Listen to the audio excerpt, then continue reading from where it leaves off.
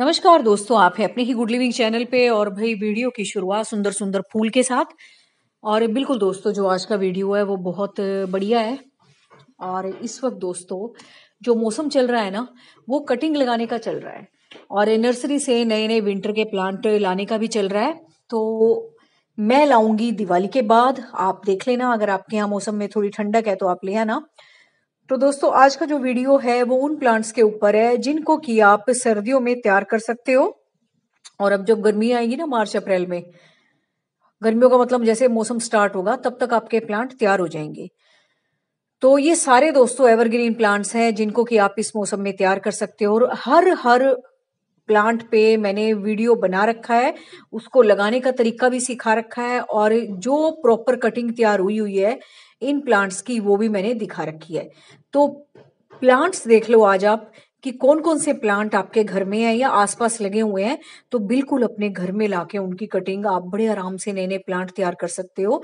इसको कि zero coast gardening कहते हैं। ज़रूरी नहीं कि आप विंटर के प्लांट लाओ। कुछ लोगों को नहीं पसंद होते सीजनल प्लांट्स उनको ये लगता है कि हमें बार बार चेंज करना पड़ेगा। लेकिन दोस्तों, ये जो एवरग्रीन प्लांट है ना, इनको आप ज़रूर लगाना।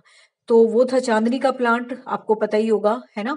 और ये है दोस्तों येलो बेल्स का प्लांट इन सब की कटिंग जिन जितनी पौधे में बताऊँगी ना इतनी आसान है इनकी कटिंग लगानी। किसी छोटे बच्चे को भी कहोगे ना इसकी आ, आ, तू ये स्टेम लगा दे तो वो भी इस मौसम में तैयार हो जाएगी। तो अगर आपके पास प्लांट हैं पहले से उसके और प्लांट बनाने हैं आपने तो भी बढ़िया है। या आसपास लगे हुए हैं ना तो इस टाइम फूल आ रहे होंगे थोड़ी सी ना आपको पहचानने में ना आसानी हो जाएगी। कि ये ये प्लांट्स मुझे तैयार करने हैं। इस वक्त जो मौसम होता है ना, वो सभी पौधों का मिला जुला होता है। जैसे कि मार्च का मौसम होता है ना, ऐसे ही अक्टूबर, नवंबर का होता है। इस टाइम गर्मी सर्दी के सारे पौधे तैयार हो रहे होते हैं और इस टाइम दोस्तों बिल्कुल परफेक्ट टाइम होता है इन पौधों को लगाने का। और इनकी कटिंग लगाना मैंने आपको बता रखा है। तो ये है गोरी चोरी का प्लांट जिसको केटिकोमा स्टेंस बोलते हैं। तो जो मैं बताऊँगी ना, उसके अलावा भी और भी जितने एवरग्रीन प्लांट है ना, आप उनकी भी कटिंग लगा सकते हो क्योंकि देखो, एक वीडियो में इतने सारे पौधे तो आ नहीं सकते। लेकिन ये है कि आप मोटिवेटेड हो जाओगे कटिंग लगाने के लिए। तो सारे मैं जितने दिखाना ठीक रहेगा ना, उतने दिखा दूँगी। सुकुलेंट्स की वैरायटी भी हो, चाहे इसमें कम पानी वाले हों, ज़्यादा पानी वाले हों। तो इस तरीके से दोस्तों, आप बोगनविला की भी कितनी वैरायटी इस टाइम तैयार कर सकते हो। और ये दोस्तों, जो मौसम है ना, ये कटिंग को सूखने भी नहीं देगा। सबसे बड़ी बात है, आपकी कटिंग तैयार होगी ही होगी। बस आपने इतना ध्यान रखना है कि जो हमारे एवरग्रीन प्लांट है ना, फूलों वाले सुकुलेंट्स वगैरह को छोड़ के मॉइस्चर का जरा ध्यान रखना आपने कि कटिंग जब आप लगा रहे हो, उसमें मॉइस्चर बना रहे ताकि जड़े बनने में आसानी हो और जो सोयल मीडियम आपने लेना है, वो रिवर सैंड और सोयल को मिक्स करके लेना है ताकि जब जड़े बने तो आसानी से वो उस सोयल वाले मिक्सचर में फैल पाए। ज़्यादा हार्ड मट्टी ले लोगे ना, फिर रूट्स बनने में और फैलने में ना थोड़ी दिक्कत होती है। अगर रिवर सैंड और सोयल का मिक्सचर मिला के आप कटिंग लगाते हो ना तो बहुत जल्दी से तैयार हो जाती है कटिंग करके देखना आप, थोड़े दिन में ही कटिंग तैयार हो जाएँगी। फिर मुझे कमेंट करके ज़रूर बताना कि मैम आप बिल्कुल ठीक कह रहे थे। और मैं इसी तरीके से सारी कटिंग तैयार करती हूँ और आपके सामने ये सारे कटिंग वाले पौधे हैं और इस वक्त दोस्तों, आप पूछ रहे थे कि एडीनियम की कटिंग तो मैंने आपको अभी पीछे लगा के भी दिखाई थी और इस पोर्शन को भी मैं काट दूँगी। इसको मैंने जान के नहीं काटा, इस पे ना ये बर्ड्स बन रही थी। मैंने कहा चल फूल खिल ले, फिर सारा टाइम तो पड़ा ही है अभी कटिंग लगाने का। और यहाँ से जहाँ से मैंने काटी थी, यहाँ से आप देख रहे हो दो ब्रांचेस भी निकल आई हैं। बस यहाँ से मैं काट के और इसको फिर लगा दूँगी, जब फूल आने इसके बंद हो जाएँगे। तो ये पोर्शन भी मुझे अटपटा सा लग रहा है। तो इस टाइम दोस्तों, ये मैं जान के बता रही हूँ कि इस टाइम आप अपने प्लांट्स को शेप भी दे सकते हो, जो कि बरसात के बाद मतलब इधर उधर ब्रांचेस निकल आते हैं और आपको देखने में प्लांट अच्छा नहीं लगता। तो इस मौसम में आप अपने प्लांट को शेप भी दे सकते हो और जो आपकी कटिंग्स निकलती हैं, उनको आप लगा भी सकते हो। और ये देखो, ये सारी कटिंग से तैयार की हुई है मैंने बोगनविला और बोगनविला तो दोस्तों एवरग्रीन प्लांट है, चाहे आप इसको गमलों में लगाओ, क्यारी में लगाओ, और कहीं भी आप इसको लगाओ, इतने सुंदर लगते हैं ये। और सबसे बड़ी बात दोस्तों, बालकनी में अगर आप इनको रखते हो तो इतने सुंदर फूल खिलते हैं, अगर आप इसको हेज का शेप दे देते हो, जैसे कि मैं काट छाट कैसे देती रहती हूँ। कुछ को बेल बना देती हूँ, जो मुझे लगता है कि बेल वाले पौधों के साथ रखे हैं प्लांट और कुछ को मैं चाहती हूँ कि घने से हो जाए और बहुत सारी ब्रांचेस निकले छोटे से प्लांट पे और फिर फूल खिले तो वो आपके अपने ऊपर है, आपने कैसे करना है? बस एक बार आपने कटिंग तैयार कर लेनी है। आगे आपकी मर्ज़ी, आपने किस तरीके से उस पौधे को रखना है, कहाँ रखना है, बेल बनाना है या एक ऐसे ही छोटा सा शेप देना है प्लांट को।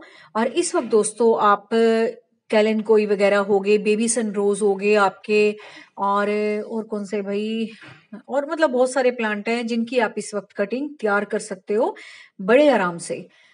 तो इस वक्त दोस्तों, कैलन कोई की कटिंग लगाने का भी टाइम चल रहा है, क्योंकि कुछ टाइम बाद इसमें फिर फूल आने शुरू हो जाएँगे दिसंबर के बाद। और इसके फूल दोस्तों एक एक डेढ़ डेढ़ महीना तक टिके रहते हैं। तो इस वक्त आप कैलन कोई की भी कटिंग लगा सकते हो, या इधर उधर लगे हुए हो तो आपके पास कोई और रंग है, किसी और रंग की भी आपने कटिंग तैयार करनी है तो इस मौसम में आप कर सकते हो। और ऐसा मत सोचना, सर्दी में फूल आएँगे, लेकिन आपके प्लांट हमेशा बने रहेंगे। और दोस्तों, इसके प्लांट देखने में भी बहुत खूबसूरत लगते हैं। इस वक्त आप अपने मनी प्लांट्स की भी कटाई छटाई कर सकते हो, लेकिन आपने उसकी डंडियाँ नहीं फेंकनी है। आपने उससे और नए नए प्लांट तैयार कर लेने हैं, क्योंकि इस टाइम ना ओवर ग्रो करता है मनी प्लांट। तो मैं भी जो इसकी कटाई छटाई करती रहती हूँ क्योंकि देखो छोटे जो गमलों में प्लांट लगे हुए हैं उनको मुझे फैलाने वाली शेप देनी है ताकि गमला भरा भरा लगे। और जो आ, आ, मैंने वर्टिकली तैयार कर रखे हैं मूव स्टिक लगा के उनकी शेप हमें अलग देनी होती है। तो वो आप देखना आपने किस तरीके की शेप देनी है। लंबाई में ले जाना है उसको तो मूव स्टिक लगानी है। और इस तरीके से छोटे गमलों में लगाने हैं तो आपने फैला के लगाना है और जो एक्स्ट्रा ब्रांचेस आपकी लंबी लंबी निकले, उनको आप काट के और और प्लांट बना सकते हो। और इसी तरीके से दोस्तों सिंगोनियम है रोइयो के प्लांट्स हैं आपके और कौन से हो गए? एलिफेंटियर प्लांट्स हैं आपके। तो इस तरह, तरीके से भी आप नए नए प्लांट तैयार कर सकते हो रूट के साथ लगा के। और इस वक्त दोस्तों कोलियस के आप नए नए प्लांट तैयार कर सकते हो। इसको ऐसा ही मौसम पसंद होता है। ज़्यादा गर्मी में आप देखते हो ना कोलियस खराब हो जाते हैं। लेकिन ये जो मौसम है ना दोस्तों ये बिल्कुल परफेक्ट है इसके लिए। इसको ऐसा ही मौसम पसंद है मिला जुला सा आ, ना गर्म ना ठंडा। तो इस वक्त आप नए नए प्लांट्स तैयार कर सकते हो। फिर जब तक गर्मी आएँगी हम बचाने की कोशिश करेंगे इसके प्लांट को। और इस वक्त आप कोलियस की कटाई छटाई भी करते हो तो आपने उसकी ब्रांचेस नहीं फेंकनी है, उससे नए नए प्लांट आपने तैयार कर लेने हैं। और भाई, ये जो फूल से आते हैं, इस पर ये आप रेगुलर हटाते रहा करो। इससे क्या होता है कि आपके कोलियस की कटिंग रुक जाती है। बिल्कुल, जैसे तुलसा जी वाला काम है ना, वैसा ही काम है कोलियस के साथ। इस पे छोटे छोटे फूल बनते हैं, ना तो ये देखने में इतने कोई खास लगते हैं। और प्लांट को मैच्योर स्टेज में ले जाते हैं ये। इसके बाद देखो, फूल आने के बाद तो कहाँ से स्टेम निकलेगी? लेकिन अगर आप ये हटाते रहते हो तो फिर वहाँ से नई नई ब्रांचें निकलती रहती हैं और आपका प्लांट और घना होता है।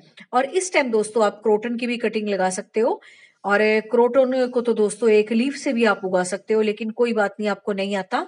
तो स्टेम से तो आप बिल्कुल आराम से नए नए प्लांट तैयार कर सकते हो। और भाई, एक मेरा फेवरेट प्लांट है मैक्सिकन पेटूनिया।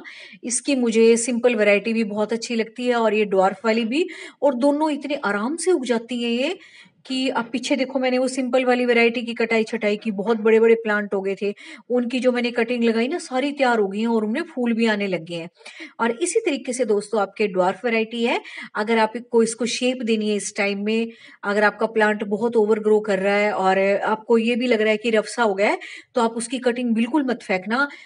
आप इसकी कटिंग बड़े आराम से लगा सकते हो और थोड़े दिन में ही उसमें ग्रोथ आप दिखाई ग्रोथ आपको दिखाई देगी।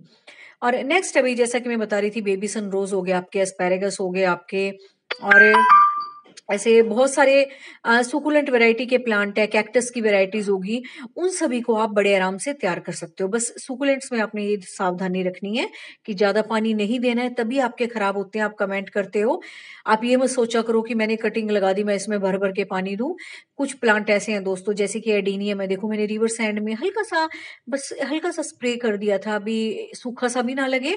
और ज़्यादा पानी नहीं देना है, नहीं तो वो स्टेम गल जाएगी आपकी। इसी तरह से आपके सुकुलेंट्स हैं, इनकी स्टेम्स में वैसे ही इतना पानी होता है और इनकी लीव्स देखो आप कितनी फ्लैशी हैं तो इनको इतने पानी की है ही नहीं ज़रूरत। और नेक्स्ट प्लांट है भैया आपका कनेर का प्लांट ओलियंडर जिसको बोलते हैं, ये भी मेरा बहुत फेवरेट प्लांट है। और फेवरेट इसलिए है क्योंकि इतना भरा भरा सा लगता है, ये देखो आप, इसके सामने ये हाइब्रिड वाला कनेर भी रखा है। और ये देसी कनेर है अपना। तो देसी कनेर पे भी स्टेम फूल आए हुए हैं और इसमें दोस्तों देसी कनेर में आपको ऑरेंज कलर मिल जाएगा, येलो कलर मिल जाएगा, पर्पल वाइट तो आप मिक्स एंड मैच करके भी कटिंग्स इसकी लगा सकते हो। और हाइब्रिड में तो भाई इतने सारे प्लांट आते हैं, बहुत सारे। और ये जो इस पे सीड पोड बनते हैं, इनसे भी आप उगा सकते हो, लेकिन जब कटिंग से उगाना इतना आसान है तो क्यों हम इतनी वेट करें? सीड मैच्योर होंगे तब हम उगाएँगे और वो सीड भी अब तक कई बार छोटे छोटे जीव जंतु घूमते हैं गार्डन में, वो खराब कर जाते हैं। तो मुझे कटिंग का जो मेथड होता है, वो बहुत अच्छा लगता है प्लांट्स उगाने के लिए।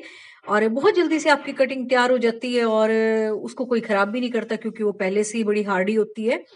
तो इस टाइम दोस्तों, आप देसी कनेरो हाइब्रिड कनेरो इस तरह का बिल्कुल उगा सकते हो। और अपनी पसंद के फूल की चॉइस से भी आप प्लांट उगा सकते हो मिक्स मैच करके। तो कनेर का भी दोस्तों बहुत सुंदर प्लांट है रफ एंड टफ प्लांट है। तो मैं यही सोचती हूँ कि आप कम से कम ना गर्मी आने से पहले नए नए और प्लांट तैयार कर लो साइड में रख के। क्योंकि इस टाइम जो आपने पर्सलिन और परचुलका वगैरह है, वो थोड़े दिन बाद आप निकालोगे, अभी तो खैर फूल आ रही हैं। तो नई नई गमले आपके पास पड़े होंगे, उनमें अपनी कटिंग्स तैयार कर लो। और फिर मार्च, अप्रैल में तो नए नए पौधे तैयार हो ही जाएँगे आपके इतने प्यारे प्यारे और ये एस्पेरेगस भी दोस्तों, आप छोटे छोटे गमलों में इनके जो बल्ब आते हैं, वो मैंने आपको वीडियो बहुत बार दिखा रखा है। इनके नीचे छोटे छोटे बल्ब होते हैं, जैसे कि लहसुन की कलियाँ नहीं होती, इस तरीके के बल्ब होते हैं। उनको भी आप डिवाइड करके इन प्लांट्स से और बहुत सारे प्लांट बना सकते हो। अगर इस टाइम आप डेकोरेशन की सोच रहे हो हैंगिंग बास्केट तैयार कर रहे हो, और आप सोच रहे हो कि नहीं, मुझे फूलों वाले नहीं लगाने हैं, ऐसे प्लांट लगाने हैं जो कि ग्रीन दिखें, और जिनकी ब्यूटी अलग हो तो वही वाले प्लांट है एस्पेरिगस के। और नेक्स्ट प्लांट है भाई आपका, इसका इक्जोरा का प्लांट और जिसको कि हिंदी में रुकमणी भी बोल देते हैं, इसकी भी दोस्तों कटिंग बहुत आराम से तैयार हो जाती है। इस टाइम क्या होता है ना, बरसात के बाद ये ओवर ग्रो करता है। तो इसकी अभी तो मैंने कटिंग कर रखी है नई नई कटिंग्स लगा भी रखी हैं। तो इसको भी आप बड़े आराम से उगा सकते हो और बहुत आसानी से इसकी कटिंग तैयार हो जाती है। तो कटाई छटाई जब आप प्लांट की करते हो तो आप ये देख लिया करो कि कौन सी स्टेम मेरे उगाने लायक है। उनसे फिर आप नए नए प्लांट बनाने की कोशिश किया करो। और दोस्तों, जो पत्ते निकलते हैं आपके गार्डन में से या कटाई छटाई के बाद, उनको भी आपने फेंकना नहीं है, उनसे आपकी कंपोस्ट तैयार हो जाती है। अलग से उनको रख दिया करो क्रेट वगैरह में उठा के। और जब नया प्लांट बनाना हो तो बनाना क्या, लगाना हो, तब उनका यूज़ कर लिया करो। और एक ही प्लांट है भाई जेट्रोफा के जिसको कि सुंदर रूपा बोलते हैं। जैसा इसका नाम है ना वैसा ही इसका रूप है दोस्तों। अगर ये प्लांट आपके गार्डन में है तो आपके गार्डन की ब्यूटी ही अलग है क्योंकि दोस्तों इसकी पतियाँ इसका जो रूप है ना एकदम बहुत सुंदर है। और फूल आ जाते हैं ना जब इस पे तो, तो और भी अच्छे लगते हैं। फूल भले ही इसमें छोटे छोटे आते हैं गुच्छे में लेकिन ये दोस्तों प्लांट बहुत अच्छा लगता है और इसकी कटिंग भी इतनी जल्दी तैयार होती है आपको मज़ा आ जाएगा गार्डन में इस प्लांट को लगा के। और इससे दोस्तों आप नए नए प्लांट भी तैयार कर सकते हो। आ, क्योंकि अलग अलग जगह पे अलग अलग तरीके से अगर आप प्लांट्स को मिक्स एंड मैच करके रखते हो तो बहुत सुंदर लगते हैं प्लांट और ज़रूरी नहीं है कि आप बार बार भाग भाग के नर्सरी जाओ और नए नए प्लांट लेके आओ। कोशिश किया करो घर से और और प्लांट बनाने की सीखा करो यूट्यूब पे से। और जब दोस्तों मैंने शुरुआत की थी मुझे बड़ा अजीब लगा था कि कटिंग से पौधे तैयार होते हैं ऐसा कैसे? जड़ तो है ही नहीं। लेकिन जब मैंने शुरुआत की बहुत टाइम पहले तब मैं भी खुद हैरान रह गई थी जब नए नए प्लांट तैयार हुए। बड़ा अच्छा लगा था देख के। और हिबिस्कस तो दोस्तों किसको पसंद नहीं है? हिबिस्कस की तो आपको ज़रूर ट्राई करनी चाहिए। कुछ तो ऐसे पौधे हैं कि आपकी कटिंग खराब होगी ही नहीं। तो बस आपने जो ये फूलों वाले पौधे हैं मैच्योर प्लांट्स जो होते हैं एवरग्रीन उनका बस आपने मॉइस्चर का ही ध्यान रखना है कि गमले में मॉइस्चर बना रहे। और जो सुकुलेंट्स वगैरह हैं, उनका भी पानी का ध्यान रखना, ज़्यादा पानी ना दो आप एडीनियम हो गए कैक्टस हो गए सुकुलेंट्स हो गए तो इसको भी दोस्तों बड़े आराम से आप तैयार कर सकते हो। और बहुत सारी वीडियो मैंने डाल रखी है चैनल पे, आप जाके वहाँ देख भी सकते हो। कि अलग से इसको कैसे उगाना है। एक पौधे की भी कटिंग आप देख लोगे ना उगाने का तरीका, आपको सारी ही आ जाएँगी। ऐसी, ऐसा कुछ नहीं होता कि आप अलग अलग से हर प्लांट की सीखो। एक पौधे की भी आपको अगर उगानी आ गई कटिंग सुकुलेंट्स की अलग से आ गई कैक्टस की आ गई एवरग्रीन प्लांट्स की आ गई तो वही तरीका होता है सबका। और बस मुझे लगता है वीडियो को अबेंड कर देना चाहिए इन सुंदर सुंदर फूलों के साथ। और अगर आपने यहाँ तक वीडियो देख लिया है तो चैनल को ज़रूर सब्सक्राइब करें। अच्छा लगा तो लाइक करना। और बिल्कुल दोस्तों, अपने जैसे दोस्तों को शेयर भी किया करो, ताकि उनकी भी नॉलेज बढ़े या उनका भी रुझान बढ़े कि हम भी गार्डनिंग करें, अपने घर में और सारे प्लांट लगाएँ। तो बस thank you very much take